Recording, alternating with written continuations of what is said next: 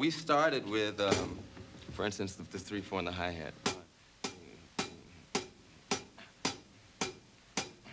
And then I added a backbeat that is not necessarily on the 2 or the 3 of the 3-4, but it's leaning more in the, um, in the 6-8 feeling of it.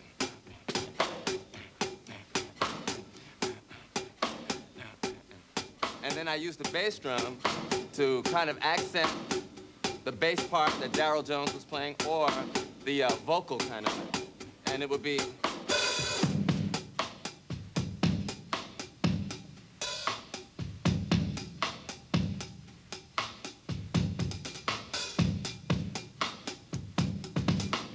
Now, when we, when we opened up the song, when, it start, when the solo sections came up, and I would um, try to keep the same bass going, but give it the more rock and roll power, okay? So, for instance, uh,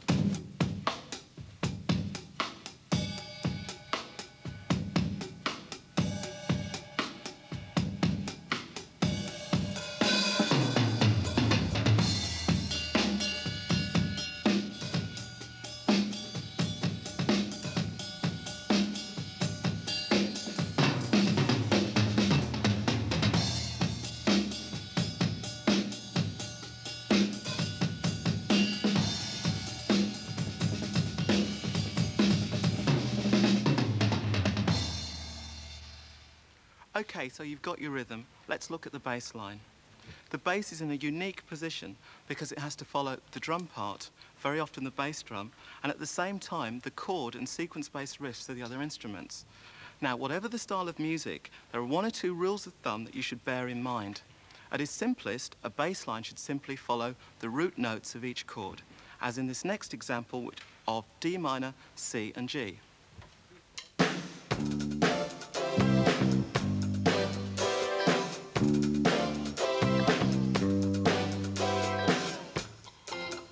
However, you don't have to stick to the root notes. You could try adding the fifth and octave of each chord.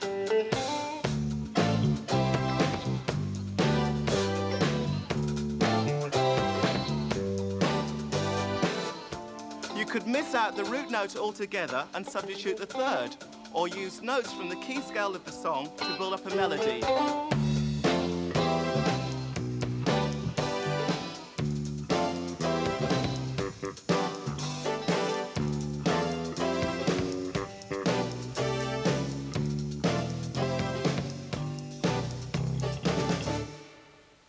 With the advent of synthesizers, keyboard players have found it possible to record bass lines that went down to low E flats, even down to low Cs.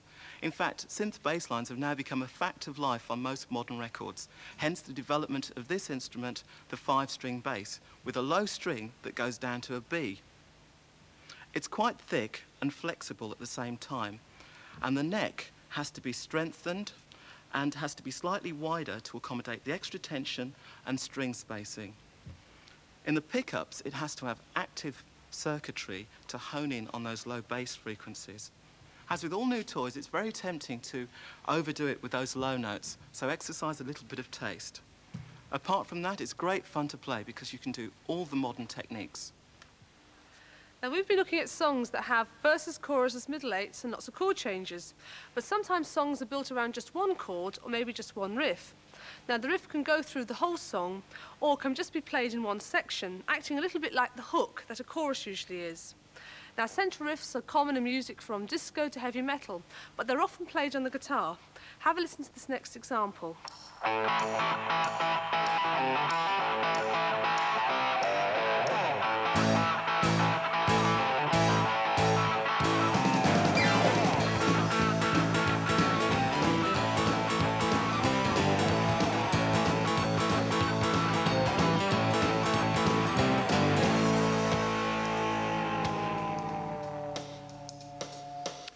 Keyboards can help build the texture of your song by maybe adding a new part when you return to a verse or chorus. A familiar basic keyboard part is a wash of sustained chords, sometimes known as a pad or carpet. These state the chord sequence softly in the background and leaves other instruments like maybe the guitar to do things like play single line riffs, like here.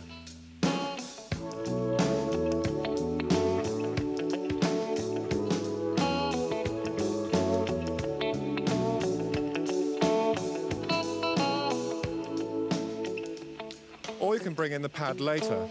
This thickens the chords in the same way that strings are often used to do, like maybe in the second verse. So start with piano. And later add your strings.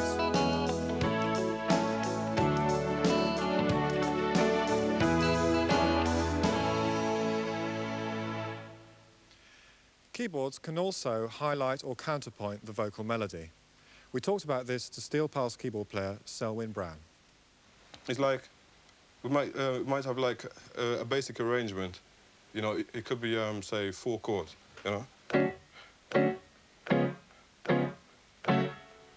You know, and we sort of um, uh, uh, we sort of make that run for a while, and it's like um, uh, we sort of uh, play uh, around the scale first, and then uh, try and create a feel from that.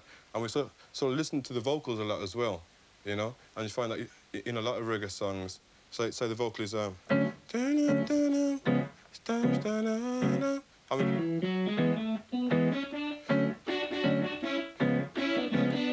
something similar to it, you know.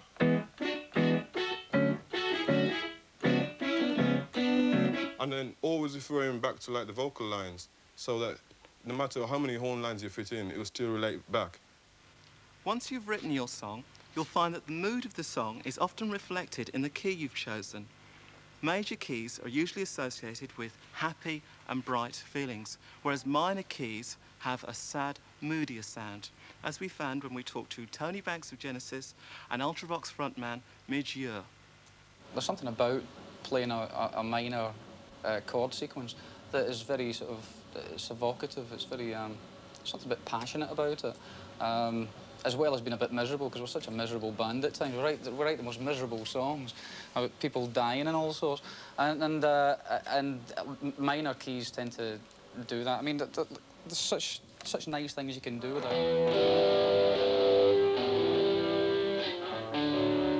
You know, really nice notes you can put together. I mean,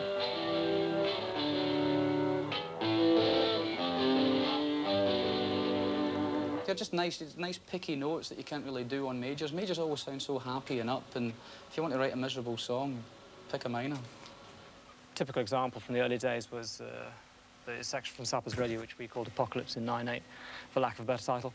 Um, and, you know, that keeps just one guitar riff going all the way through, which was just this. Now, what was fun with that with me, it was the first time I really tried it, was just trying any chords with that that sound good. You know, you can either, if you play an E major without it, you, uh, a very happy little thing. But if you play these chords, uh, it, has a more dramatic sort of feel, you know, and you, which is how we did it really, just sort of built it up so that built up, in fact, to the dramatic chords and brought the vocals back in when it got to the most dramatic chord in the thing. And then it just, the whole thing sort of took off, I think, and it was a real peak of the song. A very important sort of feature. It's, it's just quite fun how you can change the character, I think, of a name.